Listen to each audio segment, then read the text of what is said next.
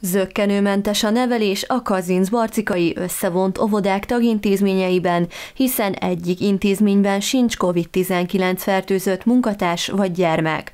Az óvodákban már túl vannak a rendhagyó farsangi rendezvényeken és a kiszebább égetésen is hamvazó szerdával ez a ünnepség sorozat befejeződik. Ugye régen a hagyományok szerint ezen a napon azért hamvazó szerda, mert kisúrolták a falvakban a edényeket hamuval, és innentől kezdve nem került bele zsíros étel és húsétel, és kezdődött a 40 napos bőjt. Na most mi ez alatt a 40 napos bőjt alatt? Kicsit másképp, de sok tapasztalattal rendelkeznek a gyerekek, feldolgozzuk a egészségbetegség témakört, és ezen belül is harcba szállunk a vírussal.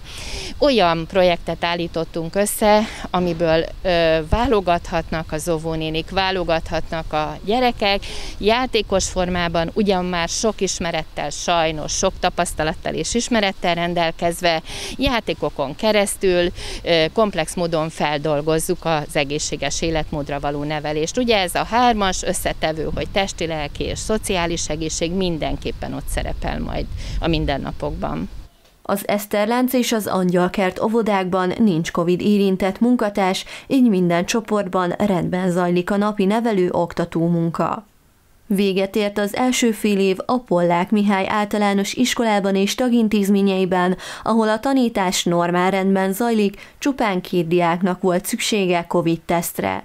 Az egyikünknél már bebizonyosodott, hogy pozitív, viszont mivel mindkét tanuló régebb óta otthon tartózkodik, nem volt szükség osztályszinten elrendelni a karantént megírták a gyerekek, a nyolcadikosok a központi felvételiket. Nagyon sokan írtak, tehát megcélozták a gimnáziumot, a gyerekeknek jelentős része, és nagyon-nagyon büszkék vagyunk rájuk, mert a 100 pontból van, aki 89 pontot tudott elérni, és az első 10 gyerekünk, vagy 15 gyerekünk 70 pont feletti felvételit írt, ami nagyon nagy büszkeség mind a tanároknak, mind a gyerekeknek, mind a szülőknek, így szabad utat kapnak, hogy bármelyik középiskolába irányba, ahová szeretnének valóban eljuthassanak. Tehát úgy gondolom, hogy a felkészítő oktató nevelő munka, a gyerekek szorgalma, a szülők hozzáállása hozzásegíti a gyerekeket ahhoz, hogy megtalálják a helyüket az általános iskola után a középiskolai rendszerben.